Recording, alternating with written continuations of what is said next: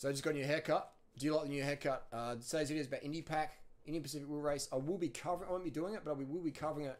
Uh, starts the next weekend in Perth, March seventeenth, uh, six twenty-two a.m. So I will be covering it on my channel, giving you guys updates and uh, stuff like that.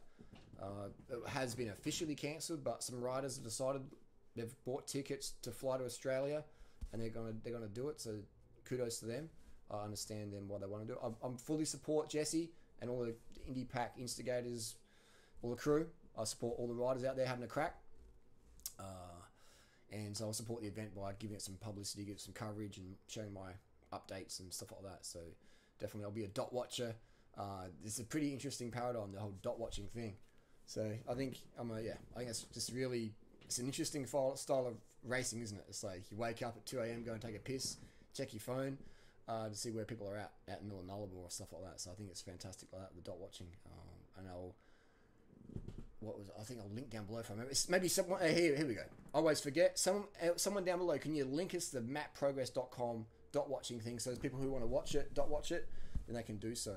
Um, and yes, anyway, uh, what challenges will I be doing this year? Now Indy Pac's off the schedule for me, off the calendar. Who knows? I've got a lot of options. I could do whatever I want, pretty much, um, travel wise. So we'll see. But I'll, I'll, be there watching Indy Pac, supporting it as always. And I think it's a great event, and I give full support. And hopefully, maybe next year in 2019, it can come back to being an official event. Who knows? Or maybe it will just grow as the event it is now. Uh, we'll soon find out. All right, you got left your comments down below for Indy Pac. This computer's getting a bit wonky. Probably a bit too lean. Hypothetically, though, someone said, "Are you too lean to do Indy Pac?" And I'm like, you know, yeah. I mean, what would I look like It'd probably be a bit scary. Probably put people off cycling and veganism otherwise. Anyway, cars make you fat. Remember that.